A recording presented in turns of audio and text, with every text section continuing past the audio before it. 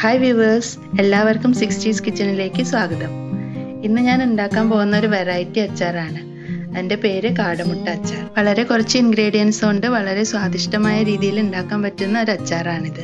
അതിന് വേണ്ട സാധനങ്ങൾ എന്തെല്ലാമെന്ന് നോക്കാം. രണ്ട് ഡസൻ കാടമുട്ടയാണ് ഞാൻ ഇതിലേക്ക് എടുത്തിരിക്കുന്നത്. അതിലേക്ക് ഒരു അഞ്ച് കുടം വെളുത്തുള്ളി. അത് ചെറുതായതുകൊണ്ടാണ് ഞാൻ അഞ്ച് കുടം എടുത്തിരിക്കുന്നത്. വലുതാണെങ്കിൽ രണ്ടെണ്ണം ആയാലും മതി.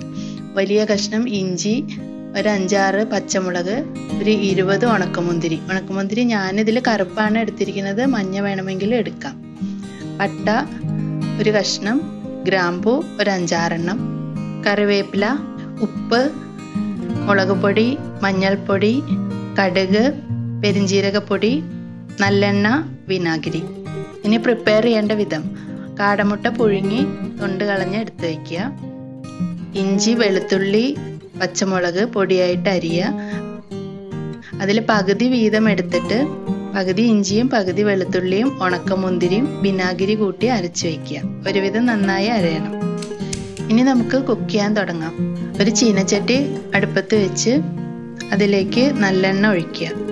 ഞാനിതിലൊരു ഇരുന്നൂറ് എം എൽ നല്ലെണ്ണ ഒഴിച്ചിട്ടുണ്ട്.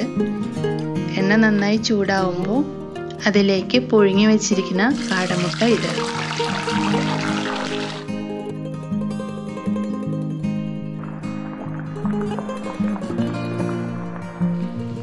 ഓൾമോസ്റ്റ് ഒരു അഞ്ച് മിനിറ്റ് ഒക്കെ ആകുമ്പോഴേക്കും അതൊരു ലൈറ്റ് ബ്രൗൺ ആയിട്ട് വരും. അപ്പം നമുക്കത് കോരി മാറ്റി വയ്ക്കാം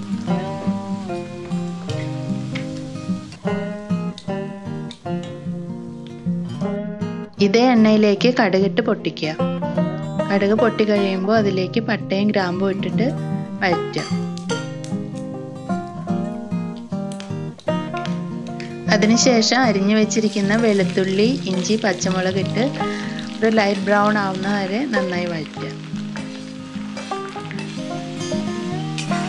ലൈറ്റ് ബ്രൗൺ കളർ ആയതിനു ശേഷം അരച്ചു വെച്ചിരിക്കുന്ന അരപ്പ് ഇടുക. അത് നന്നായി വഴറ്റണം. അരപ്പ് നന്നായി വഴണ്ടി വരുമ്പോൾ അതിലേക്ക് കറിവേപ്പില ഇടുക. അതിനുശേഷം തീ കുറച്ച് വെച്ച് ഒരു ടീസ്പൂൺ മഞ്ഞൾപ്പൊടി നാലോ അഞ്ചോ സ്പൂൺ മുളക് പൊടി. മുളക് പൊടി നമുക്ക് ആവശ്യത്തിനനുസരിച്ച് ഇടാം. പിന്നെ ടേസ്റ്റ് നോക്കിയിട്ട് വേണമെങ്കിൽ വീണ്ടും ഇടാം. എരിവ് പോരാന്ന് തോന്നുകയാണെങ്കിൽ അതിലേക്ക് ഒന്നര ടീസ്പൂൺ പെരുംജീരകപ്പൊടി ഇടണം. നന്നായി ഇളക്കി കൊടുക്കുക. അതിനുശേഷം പാകത്തിന് ഉപ്പിടുക. കാൽ കപ്പ് വിനാഗിരി ഒഴിക്കുക. അത് നന്നായിട്ടൊന്ന് തിളച്ച് കുറുകണം. അതിനുശേഷം ഒന്ന് ടേസ്റ്റ് ചെയ്ത് നോക്കുക. എന്നിട്ട് നിങ്ങളുടെ താല്പര്യം പോലെ ഉപ്പും മുളകും കൂട്ടാവുന്നതാണ്. അതിനുശേഷം അതിലേക്ക് മുട്ടയിട്ട് നന്നായി ഇളക്കുക. ഇളക്കി യോജിപ്പിക്കുക. തീ ഓഫ് ചെയ്യാം. ഇപ്പോൾ നമ്മുടെ കാടമുട്ട അച്ചാർ റെഡിയായി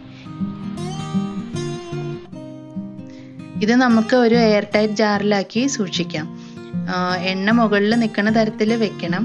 അല്ലെങ്കിൽ കേടുവരാൻ സാധ്യതയുണ്ട്. ഒരു മാസത്തോളമൊക്കെ നമുക്ക് ഉപയോഗിക്കാം.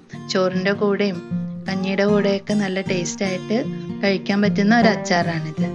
എന്റെ വീഡിയോ ഇഷ്ടമായെങ്കിൽ എല്ലാവരും ലൈക്ക് ചെയ്യണം. സബ്സ്ക്രൈബ് ചെയ്യാത്തവരുണ്ടെങ്കിൽ തീർച്ചയായും സബ്സ്ക്രൈബ് ചെയ്യണം. ഷെയർ ചെയ്ത് സപ്പോർട്ട് ചെയ്യണം. ഇനി അടുത്തൊരു ഡിഷുമായിട്ട് ഉടനെ തന്നെ വരാം. താങ്ക്